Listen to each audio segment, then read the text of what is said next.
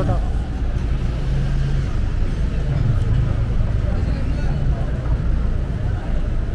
এদিকে তো আসতেই কত সুন্দর একটা জায়গা। হ্যালো